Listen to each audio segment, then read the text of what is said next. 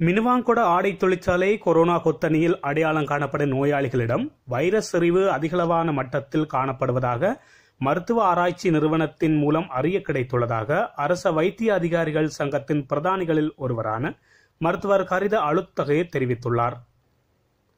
தனியார் சிங்கள தொலைக்காட்சி ஒன்றில் நேற்று ஒளிபரப்பான நிகழ்ச்சியில் மருத்துவர் இதனை கூறியுள்ளார். கடந்த காலத்தில் அடையாளம் காணப்பட்ட சகல நோயாளிகளுக்கும் கொரோனா வைரஸ் தொற்றிய மூலத்தை கண்டுபிடிக்க முடிந்தது. எனினும் தற்போதைய பெண்ணுக்கு எவ்வாறு கொரோனா தொற்றியது என்பது குறித்த சரியான தகவல்கள் இதுவரை கிடைக்கவில்லை. இது மிகவும் பயங்கரமான நிலைமை. சமூகத்துக்குள் கொரோனா வைரஸ் பரவாது என்றே நாம் இதுவரை கூறி வந்தோம்.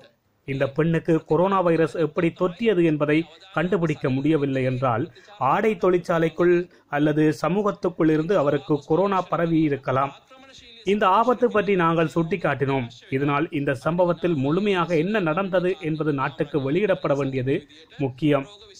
அதேபோல் நான் நேற்றைய தினம் மருத்துவ ஆராய்ச்சி நிறுவனத்துடன் உரையாற்றினேன்.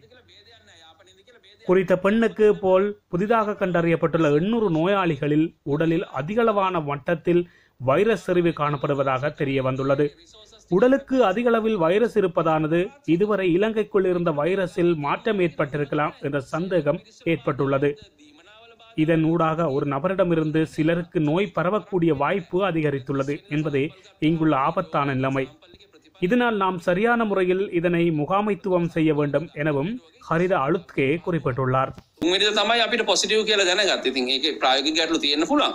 නමුත් ප- අපි පුළුවන් තරම් ඉක්මනට මේ நாளாந்த செய்திகள் அரசியல் பார்வைகள் அறிவியல் கண்ணோட்டங்கள் கல்வி வழிகாட்டிகள் என்பவற்றை காண மீரா தமிழ் சேனலை சப்ஸ்கிரைப் பண்ணுங்கள். அருகிலுள்ள மணி பட்டினையும் மறக்காமல் அழுத்துங்கள்.